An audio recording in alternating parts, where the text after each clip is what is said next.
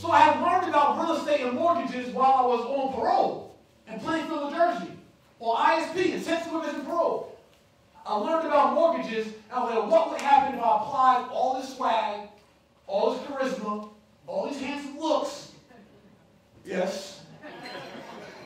What if I also apply that to a different hustle? To real estate full time. And so I challenged myself that day. I had two ounces of coke left and I had some bundles and some bricks of dope.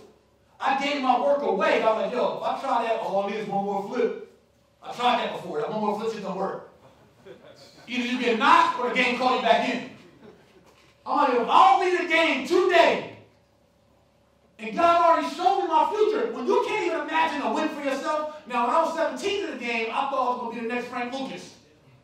I saw myself as a winning drug dealer. I saw myself as a kingpin. I saw myself as the man. But once I couldn't picture myself winning no more in the game, this shit gotta go. Hustling. I don't even believe in it no more. So I broke my trap phone, literally quit the game, gave my work away, and exited to real estate. Went broke for nine months trying to figure out all these new terminologies and how to dress better, speak better, and all these different things of transformation. Was about to go back to the game. In a month that I was about to leave real estate and go back to the street, I literally was calling around like, yo, what's prices right now? I closed four, I think I closed maybe seven deals and made 13000 Mortgage deals, real estate deals, I have my real estate license.